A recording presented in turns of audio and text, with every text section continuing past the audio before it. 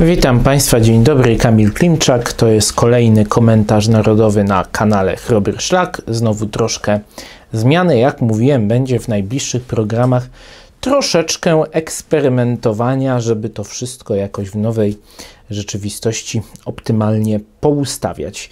E, Więc tu się zastrzegam, że może być różnie, czasem, czasem mogą być jakieś problemy techniczne. Najmocniej za nie przepraszam i postaramy się je wyeliminować e, najszybciej jak tylko się da. No i przechodzimy do meritum. Proszę Państwa, otwieram sobie na komputerze małą ściągawkę. No i dzisiaj na tapetę bierzemy e, to, o czym już chciałem powiedzieć dawno temu, ale jakoś nie było okazji, nie było e, możliwości, nie było czasu, żeby temat jakoś zgłębić, ale myślę, że warto go jeszcze przeanalizować. E, tym tematem jest ruch Polska jest jedna. Ruch, który już kilka kilka tygodni temu zaistniał na wiecu w Siemianowicach Śląskich. Określony oczywiście na dzień dobry przez media głównego ścieku mianem ruchu antyszczepionkowego. No i na jego czele właśnie miejsce te Siemianowice to było absolutnie nieprzypadkowe, bo twarzą tego ruchu jest, jedną z twarzy, jest y, właśnie prezydent Siemianowic, Rafał Piech. Y, tutaj na stronie ruchu jest jego dość y, obszerny, dość obszerny biogram. No i w zasadzie można powiedzieć, że 25, od 25 września, czyli w momencie, kiedy nagrywam ten materiał, mija miesiąc, ten ruch funkcjonuje gdzieś w przestrzeni publicznej. Od razu jego powstanie stało się również przyczynkiem do dyskusji na tym forum, powiedzmy, antysystemowym. No, bo przyjrzyjmy się twarzom. I to wszystko, o czym teraz mówię, co jest w oparciu o stronę ruchu Polska jest jedna, bo y, w zakładce o nas są właśnie ci różni przedstawiciele, oprócz prezydenta Siemianowic, kto to jest? Doktor Zbigniew Hałat. Chyba człowiek, którego nie muszę nikomu przedstawiać. Dalej. Tomasz Ratajczak, przedsiębiorca, członek Rady Polskiej Izby Biznesu, prezes zarządu komplementariusza Lorien Group, specjalista w zakresie technologii gastronomii. Bliżej nieznany. Piotr Rosudowski, lekarz, y, który zresztą, jeśli oglądaliście Państwo relację moją z podizby lekarskiej w Łodzi, miał sprawę razem z dr Bożeną Sienkiewicz przed sądem lekarskim właśnie za swoją taką działalność y, w kontrze do oficjalnej narracji covidowej. E, z tego samego środowiska lekarskiego niezależnego dr Zbigniew Martyka, poseł. Poseł Anna Maria Siarkowska. Poseł klubu PiS, to odmierzam słowa dlatego tak dokładnie, no bo trzeba oddać sprawiedliwość, że e, poseł Siarkowska nie jest członkiem partii Prawo i Sprawiedliwość. Ona pierwszą swoją kadencję mm, poprzednią uzyskała dzięki wyborowi z listy Kukiz 15. Potem tworzyła taki twór, który zresztą, którego nazwa dzisiaj powróciła w magiczny sposób na polską scenę polityczną, czyli Partię Republikańską.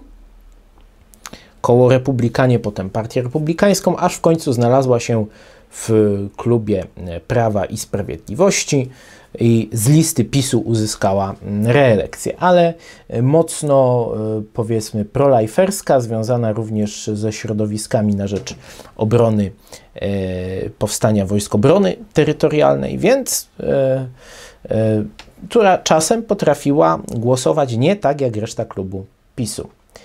Doktor Piotr Witczak, również lekarz, Jan Łopuszański, starszym nie muszę przedstawiać, kto to jest y, trzykrotny poseł, działacz prawicowy, obecnie jakby poza polityką, ale jak widać zaangażowany w to. No i oczywiście ten ruch, no i oczywiście też postać, której nie trzeba przedstawiać, redaktor Jan Pospieszalski, publicysta, wyrzucony z telewizji polskiej właśnie za nieprawomyślność covidową, który teraz rozwija swoją działalność e, w internecie. No i w zasadzie ta strona niewiele mówi.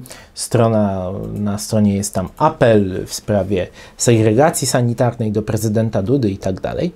Ale ponieważ właśnie obecność Jana Pospieszalskiego, obecność, e, e, obecność poseł Siarkowskiej wzbudziła komentarze, że jest to narzędzie do kanalizowania przez Prawo i Sprawiedliwość E, opozycji względem siebie.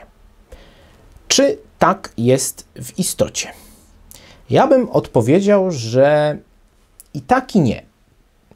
E, jak należy w ogóle podchodzić do tego ruchu Polska jest jedna? Bo na razie no, jest to ruch, oglądałem niedawno materiał właśnie Pospieszalskiego z prezydentem Piechem. Prezydent Piech zresztą był na przykład na konferencji ruchu Powszechny Samorząd Gospodarczy, na której też byłem e, na początku października w Warszawie. E, można powiedzieć, e, jest to troszkę inna w ogóle formuła tego ruchu antykowidowego. Formuła, to wyczułem zresztą na tej konferencji ruchu Powszechny Samorząd Gospodarczy, że właśnie ci przedsiębiorcy dużo lepiej się w tej formule czują. E, takiego ruchu salonowo-lobbystycznego, mm, aniżeli w formule ruchu, za którego można powiedzieć, no, że tam, tam na przykład jedną z głównych postaci jest Justyna Socha, ale nie tylko, ale dajmy ją na przykład na potrzebę naszych rozważań. Pewnie niektórzy się na mnie teraz rzucą, ale to tylko mm, rozumieją, wystawiają sobie świadectwo, że nie rozumieją po prostu tego, że ja tu daję pewną konstrukcję tylko myślową. E, nie czują się dobrze ci ludzie w formule ruchu e, maszerującego, protestującego. Nie, oni, oni właśnie raczej, raczej w ten deseń E, wolą walczyć o swoje prawa.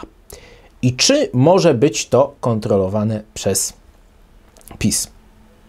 Proszę Państwa, wszystko może być kontrolowane przez PiS. Po owocach ich poznamy, bo no, wielu sobie zadawało pytanie, co z tym Bąkiewiczem, tak? Niektórzy już tak mówili o jego związkach z władzą w momencie, kiedy zaczął zbierać podpisy na ustawę 10447, kiedy przy wyborach w 2019 takie różne dziwne ruchy wykonywał. Mm, no, potem się e, okazało, że, że rzeczywiście już przy wyborach prezydenckich maski opadły, ale na przykład w 2019, jeszcze po tym marszu anty-447, byłem pełen przekonania, że jednak coś z tego dobrego może wyjść.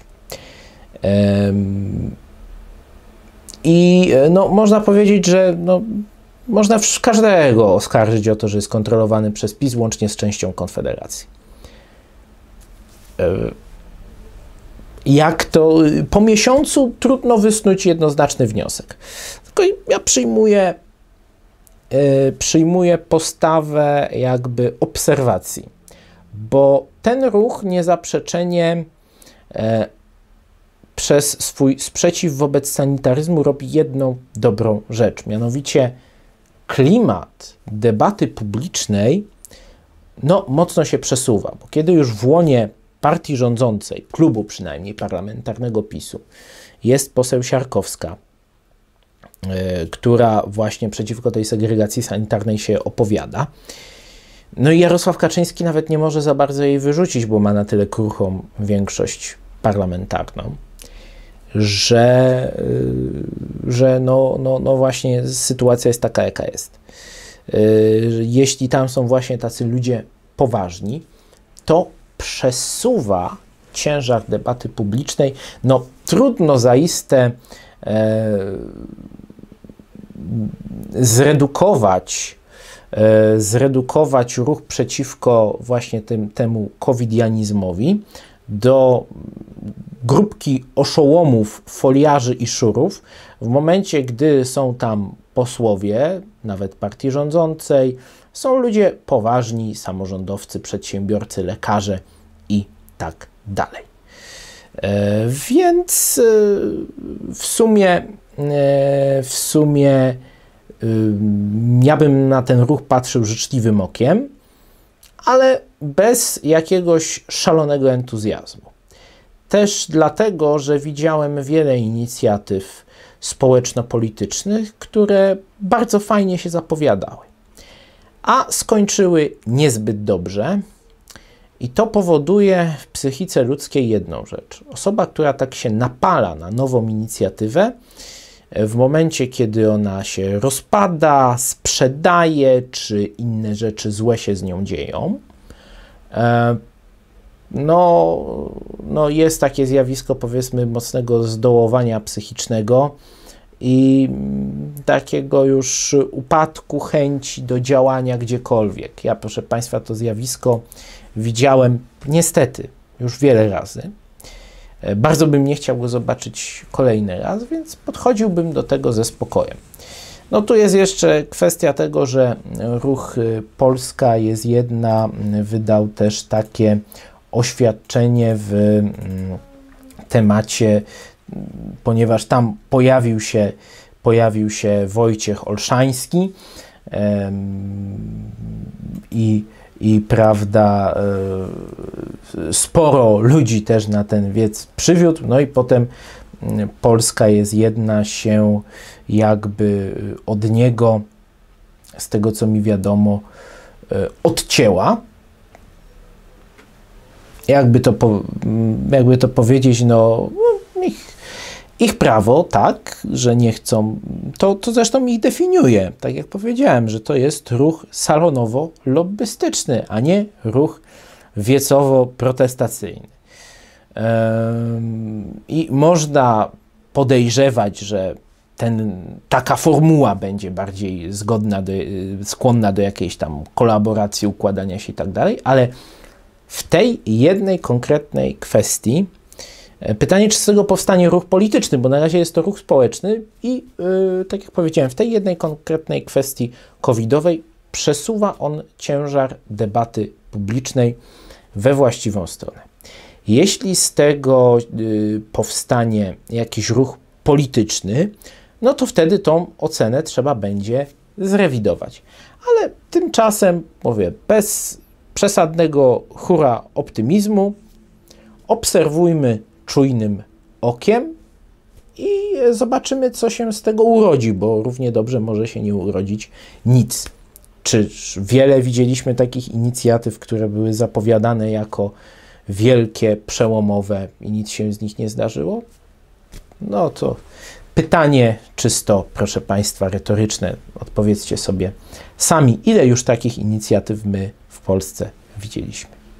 Szanowni Państwo, to tyle. Dziękuję bardzo za uwagę. Zachęcam do udostępniania, zostawiania kciuków w górę, subskrypcji, komentarzy i wspierania naszego kanału finansowo. Dziękuję bardzo. Do zobaczenia.